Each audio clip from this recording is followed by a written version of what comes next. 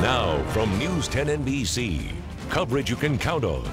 This is News 10 NBC at 11.